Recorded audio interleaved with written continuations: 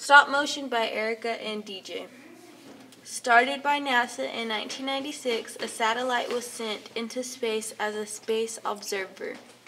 Launched in 1996, it collided with the comet, leading to its cancellation.